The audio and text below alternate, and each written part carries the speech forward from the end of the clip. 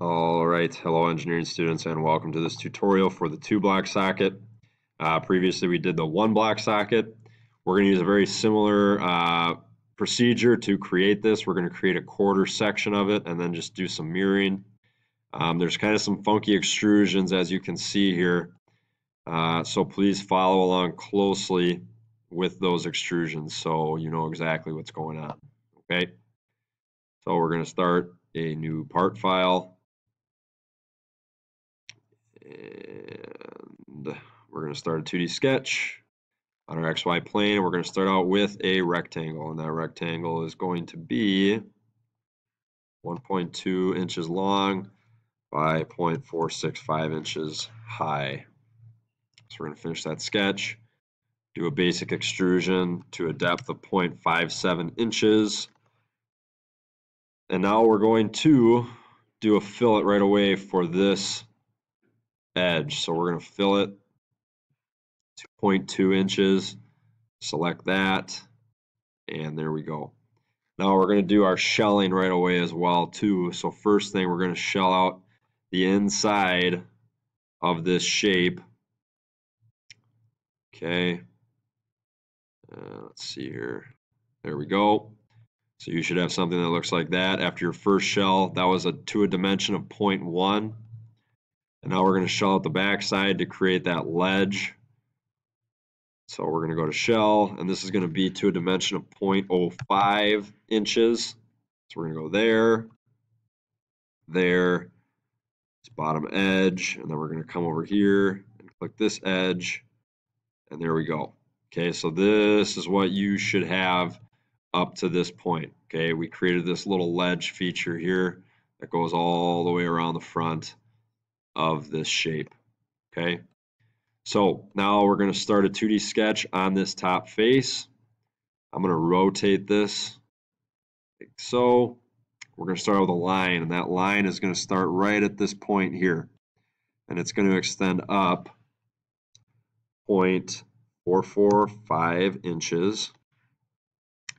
And now from the end of that line, this rectangle is going to be a height of 0.47 inches and a length of 0.382 inches.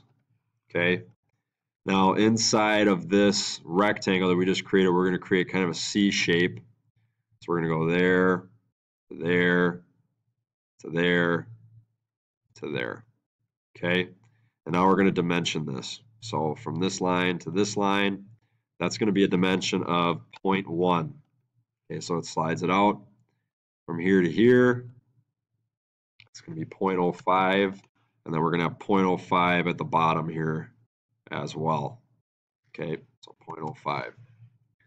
Now we're going to add in one more line. We're going to start at this line here, drag it all the way down, and then that's also going to be a dimension of 0.05. Okay, so there's our completed sketch. So we'll finish that. And now the first thing that we need to do with this sketch is we're going to extrude out that C shape that we created. And we're going to cut it to a depth or dimension of 0.15 inches. Okay, so there we go. Now, the next thing is we are going to flip this over and from this bottom face we're going to offset a work plane. So we're going to go up here we're going to go offset and we're going to offset this uh, 0.03 inches. So just a little tiny offset there okay? So we have our offset work plane. Now we're going to go over to our browser and we're going to click the plus sign for extrusion 2 we're going to make sketch 2 visible again. So you're going to right click on sketch 2 make it visible. And now we're going to go up to extrude. We're going to click that little rectangle there. And we're going to use a different extrude command. We are going to do this between two faces or planes. Now the first face that we're going to select is this top face. The next face or plane that we're going to select is that offset plane. So we're going to click that. And now automatically Inventor wants to cut that rectangle out we don't want to cut, we want to actually join. So we're going to go join. And now you can see that that rectangle is being pulled down. So we have a little bit of a kind of a ledge or a step made there. Okay. So we're going to click that. And now you can see, we zoom in on it here, you can see that rectangular shape got pulled down. Okay. So what we're going to do now is we're going to make that sketch go away. So right click sketch 2, visibility gone. Same thing with the work plane, right click, visibility gone. There we go. Now the next thing we're going to do is we're going to select this inside face and we're going to start a 2D sketch there. And what this sketch is going to look like is we're going to start with a line at this point and we're going to extend that line over 0.445 inches. And then from the end of that line, we're going to create a rectangle that has a length of 0.46 inches and a height of 0.228 inches. Okay, so we're going to finish that sketch. We're going to extrude that rectangle out, but we need to extrude it out to a certain uh, to a certain depth. So what we're going to do is we're going to offset another plane, and it's going to be from this front face here and it's automatically going to want to extrude it out towards us. We want to go back into the object. So we're going to extrude or we're going to offset it negative 0.033 inches. Okay. Now we're going to go to extrude. We're going to select that. Well, the rectangle automatically gets selected, I guess. And then we're going to use to selected face or point and then we're going to select our work plane. So it's going to extrude it right out to that work plane. You can see that there. Okay, so we're going to click OK. I'm going to hide this work plane. Makes things a lot easier.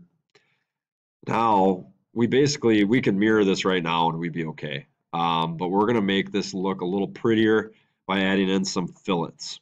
Okay, so the first fillet we're going to put in is going to be on this face, this face, and on that rectangular shape that we created there.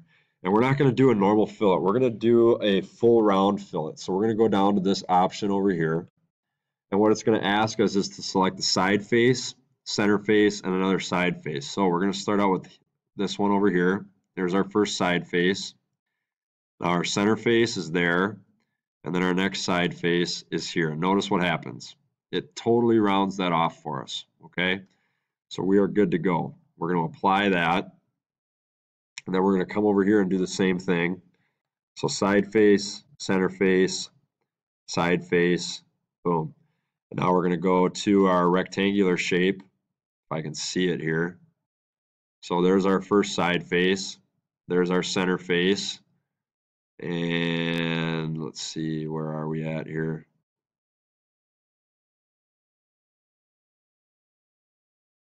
And then there's our next side face. Okay, so that got a little confusing. It's kind of hard to see, but you can see it now. We're nice and rounded off with that rectangular shape that we pulled down.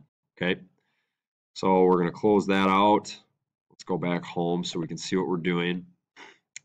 And now we're going to just add in some basic fillets. So we're going to fillet this this edge here and this edge over here to a dimension of 0.05. So like that and like that. Good to go. So now we're just going to put some fine fillets in, um, just some finer detail fillets in, similar to what we did with the one block socket. These aren't totally necessary, but we're going to do them anyway. So we're going to select this edge, this edge, this outer edge, and then we can do this all the way around our square as well. Okay, so we'll do that. We'll do that, that, that, that. Okay, just like that. We'll apply it. So it just gives it a little bit of a round there. And then, and then now we're going to just make the magic happen. Okay, so we're going to use our mirror tool. And remember, we can't do individual features. We need to do solids. So it automatically selects that solid. Now we select our mirror plane, which is just going to be this side face. Okay, so we have our top half now. And then we're just going to do the same thing. to flip this over, select that, and our mirror plane is just going to be the bottom face. And there we have it. There is our completed two block socket. Okay, so I hope this was helpful. If you have any questions along the way, please let me know. Take care.